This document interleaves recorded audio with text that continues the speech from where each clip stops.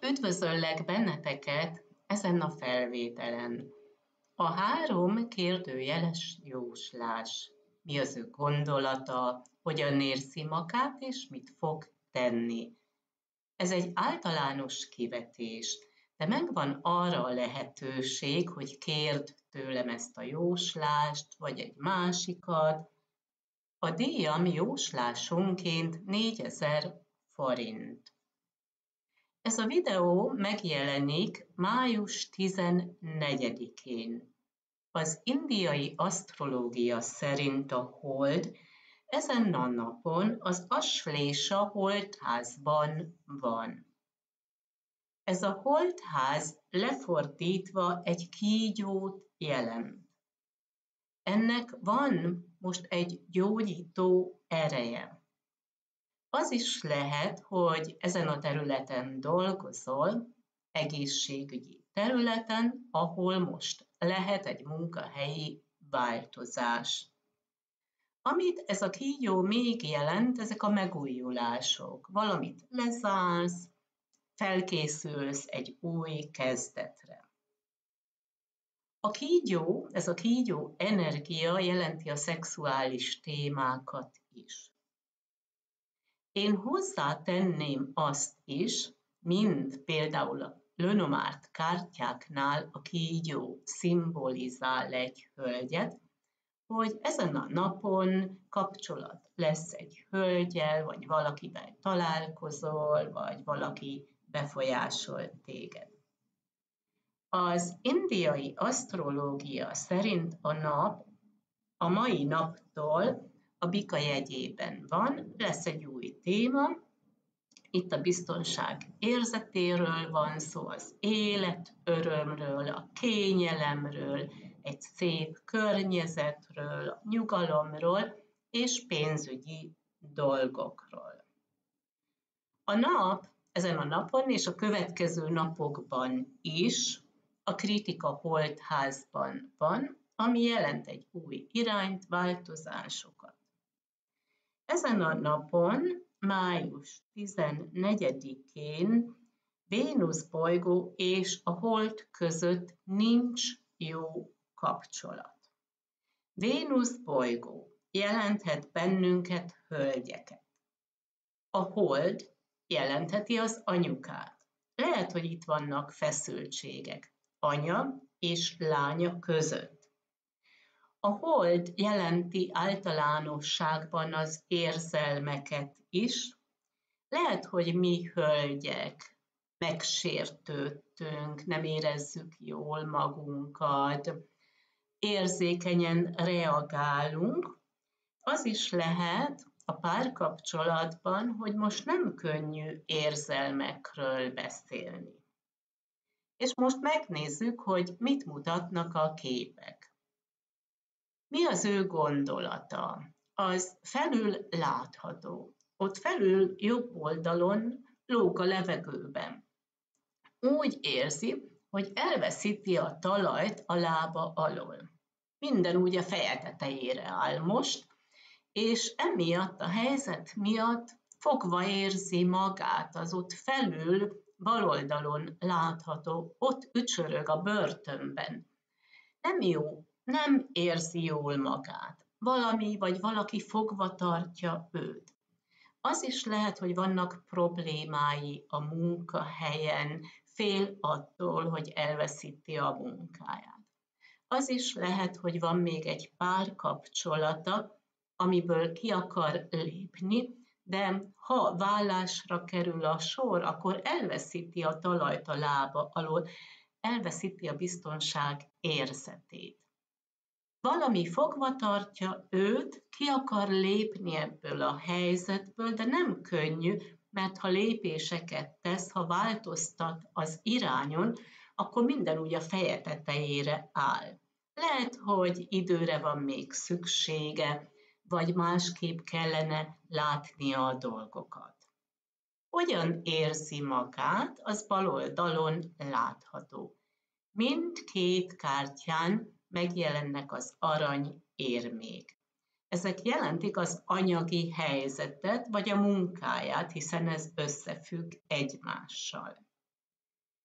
Ami az érzelmeket, vagy a szerelmi témákat illeti, akkor ez az arany érem utalhat az értékekre, vagy a megbecsülésre.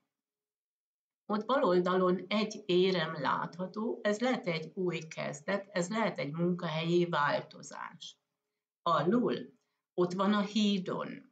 A híd jelent egy átmeneti időszakot, hiszen az egyik partot már elhagyta, a másikat még nem érte el.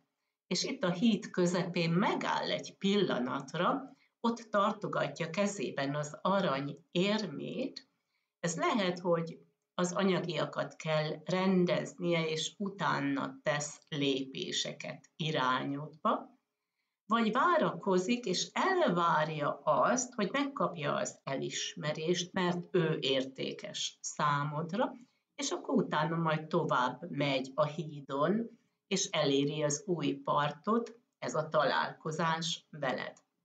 Mit fog tenni? Az jobb oldalon látható, valami miatt úgy össze van roppanva, össze van törve, hiszen szomorú, nem tudja, hogy hogyan tovább. Nincs meg az ereje ahhoz, hogy felálljon, és mozgásba jöjjön, valami nagyon elszomorítja őt. De lesznek változások, hiszen ott jobb oldalon újra megjelenik a híd, hogy útban van hozzád, és átnyújtja számodra ezt az arany kejhet, ami jelenti az ő érzelmeit, meg az ő elvárásait is, hogy te is kimutasd az érzelmeidet.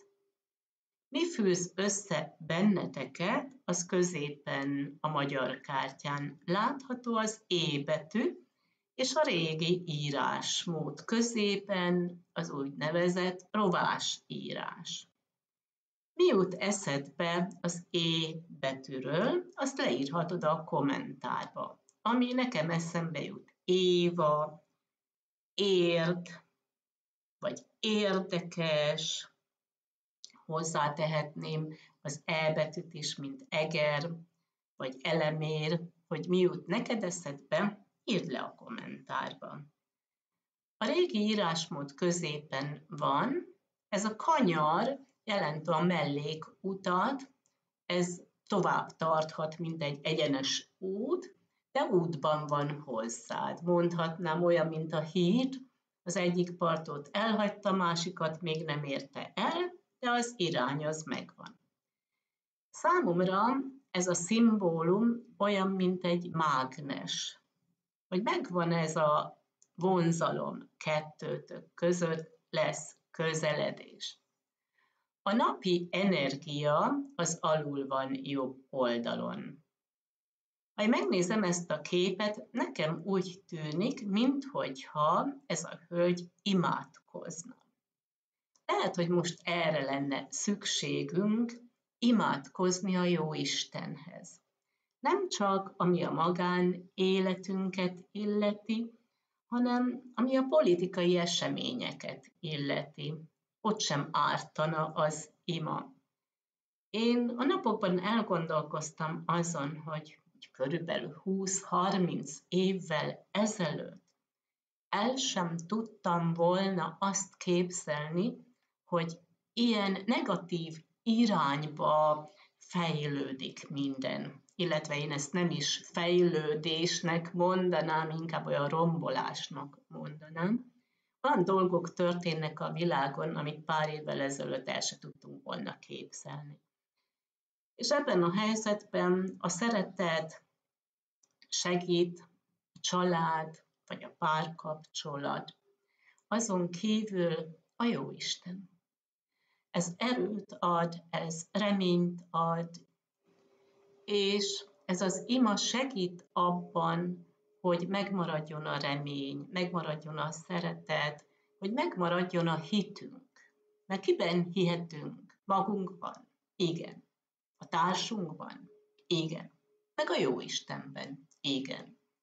És ez volt a felvétel, amennyiben tetszett a videó, örülnék annak, ha lájkolnád, vagy jelentkeznél a csatornámra, vagy leírnád a véleményedet a kommentárba, meglátogathatsz a Facebook oldalon is, Dendera Susanna Medici, ott megjelenik naponta a Maja Naptár. És én kívánok egy szép napot, nagyon sok szeretettel, Dendera